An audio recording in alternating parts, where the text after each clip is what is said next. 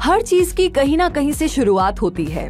और आज के जमाने में आपने देखा होगा कि कहीं भी, कभी भी कोई भी चीज़ की परचेज प्रोडक्शन और पैकिंग करनी हो तो वहाँ से शुरू होती है कॉमर्स की दुनिया।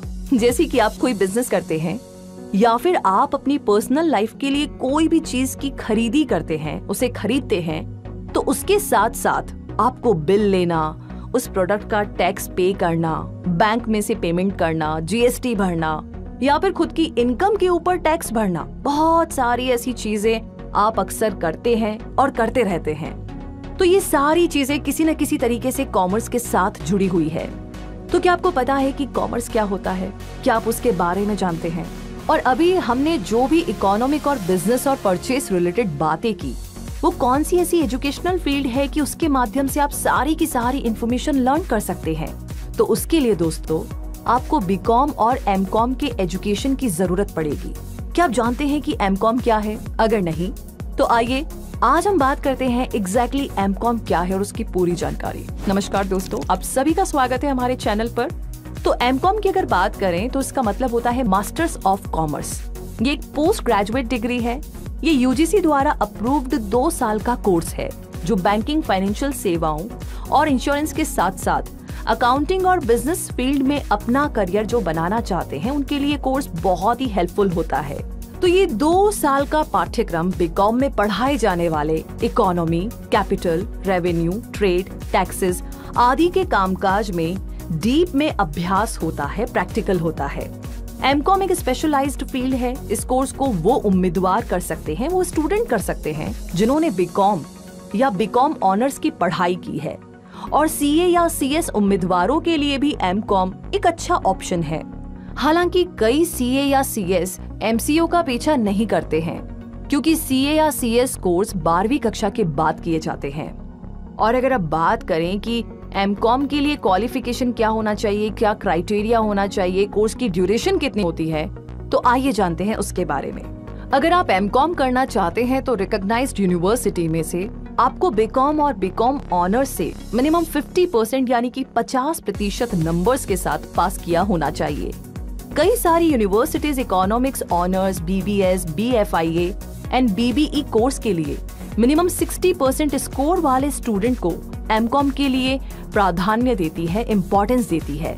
और एमकॉम के लिए फ़ी स्ट्रक्चर अलग अलग कॉलेजेस में अलग अलग है, जो 2000 से 8000 तक हो सकती है। और अगर बात करें ड्यूरेशन की तो एम कॉम दो साल का कोर्स होता है और इसमें फोर सेमेस्टर्स आते हैं एम कॉम कोर्स में अगर आप इन कोर्सेज में आगे स्पेशलाइज्ड स्टडी करना चाहते हैं तो यहाँ पर बहुत बड़ा एरिया कवर होता है जैसे कि एम कॉम यानी कि taxation MCom mathematics MCom accounting and finance MCom banking MCom banking and finance MCom marketing MCom business management MCom economics MCom accounting MCom statics MCom finance MCom finance and control MCom e commerce और M com computer application तो बहुत बड़ा area है, जो भी आपको ठीक लगता है इंटरेस्टिंग लगता है, आप उसे चूज़ कर सकते हैं और आगे अपनी स्टडी कंटिन्यू कर सकते हैं। अगर बात करें एम कॉम के लिए रिक्वायर्ड स्किल की तो हमने एम कॉम के बारे में सब कुछ जान लिया।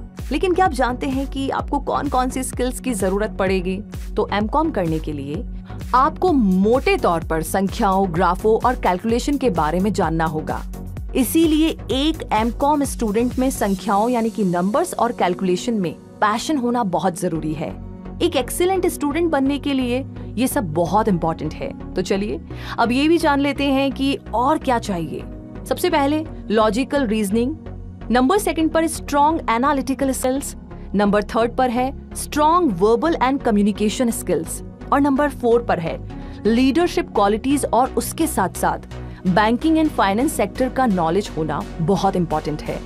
और नंबर पाँच पर लास्ट में कंप्यूटर में एम एस ऑफ़िस और अदर नॉर्मल कंप्यूटर हैंडलिंग में मास्टरी होना तो बहुत ज़रूरी है. कम से कम आज के टाइम में. तो कहने का मतलब ये कि हमने एम कॉम क्या है और उसके बारे में सभी इंफॉर्मेशन के बारे में जाना। लेकिन अब हम जानते हैं कि एम कॉम के बाद में कैसे और कौन सी जॉब प्रोफ़ाइल आपको मिल सकती है। तो एम कॉम करने के बाद आपके लिए इतनी सारी नौकरी के ऑप्शन हैं, आप सोच भी नहीं सकते। Exactly exactly. आप एम कॉम पूरा करने के बाद बी एफ़ एस आई यानी कि banking financial services and insurance के फ़ील्ड में नौकरी की तलाश कर सकते हैं। एम कॉम को कंप्लीट करने के बाद प्राइवेट पब्लिक और गवर्नमेंट सेक्टर्स में ज़्यादा से ज़्यादा नौकरी के लिए अप्लाई कर सकते हैं। उसके अलावा राष्ट्रीय बैंक रेलवे आयकर और अन्य ऐसे सरकारी विभाग में एम कॉम डिग्री धारकों के लिए एक सुरक्षित और समृद्ध करियर बनाने के लिए एक अच्छा ऑप्शन है। एम कॉम करने के बाद आप एक अकाउंटेंट और senior accountant finance executive cashier chartered accountant कोई भी प्राइवेट और ब्रोकर वेल्थ मैनेजर रिसर्चर आपके नजदीकी स्कूल के स्कूल टीचर कोई फाइनेंस कंपनी के finance manager accounts executive company secretary marketing manager entrepreneur college में लेक्चरर फाइनेंस कंसल्टेंट और कोई भी इंश्योरेंस कंपनी के इंश्योरेंस एजेंट भी आप बन सकते हैं। तो ये बात हुई एमकॉम के बाद आपको कौन कौन सी फ़ील्ड में कैसी कैसी जॉब मिल सकती है, उसके बारे में। और आइए अब आगे हम जानते हैं कि एमकॉम डिग्री कैंडिडेट के कौन से बड़े रिक्रूटर है, जैसे कि S Punjab national bank ICICI bank Citi bank HDFC जैसी बड़ी प्राइवेट एंड गवर्नमेंट बैंक और उसके साथ साथ अर्नेस्ट एंड यंग के price water house Cooper TFC and Deloitte जैसी प्रोफेशनल सर्विसेज़ कंपनियाँ सबसे बड़ी एमकॉम कैंडिडेट की रिक्रूटर है। अगर हम एमकॉम करने के बाद सबसे इम्पोर्टेंट अगर सैलरी की बात करें तो एमकॉम डिग्री मुख्य रूप से कॉमर्स आधारित क्षेत्र पर केंद्रित है। प्रबंधन और अर्थशास्त्र आधारित विषयों, जैसे कुछ अन्य फ़ील्ड है। प्रतियोगिता के बाद प्रतिभाशाली उम्मीदवारों को उच्च वेतन दिया जाता है। अगर कोई विद्यार्थी बैंकों में पीओ के रूप में सिलेक्ट हो जाता है तो उसका पहला वेतन पच्चीस हज़ार रूपए ऐसी ऊपर होता है। संबंधित फ़ील्ड में अनुभव के साथ साथ उम्मीदवार निजी कंपनियों में बहुत अधिक वेतन पैकेज प्राप्त करने में सक्षम होंगे। जो लोग अकाउंटेंट के रूप में शुरू करते हैं, वो लगभग छह हज़ार ऐसी दस हज़ार रूपए तक वेतन प्राप्त कर सकते हैं। और फिर ये सीए या सी एफ़ ए जैसे उच्च योग्यता के बाद एक लाख रुपए तक वेतन प्राप्त कर सकते हैं। अब आगे बात करते हैं कि एम के लिए बेस्ट यूनिवर्सिटीज और कॉलेजेस के बारे में।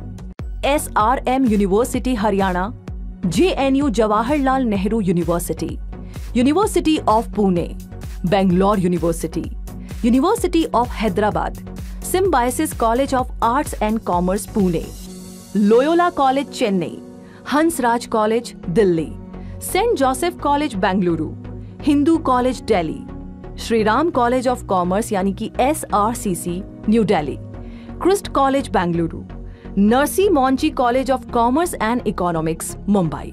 तो ये थी सारी जानकारी एम कॉम के बारे में। तो आई एम श्योर कि अब आपके दिमाग में शायद कोई सवाल ना हो और फिर भी हो तो बिल्कुल आप हमें बता सकते हैं कमेंट बॉक्स में लिख करके कि वीडियो आपको कैसा लगा, ये जानकारी आपको कैसी लगी।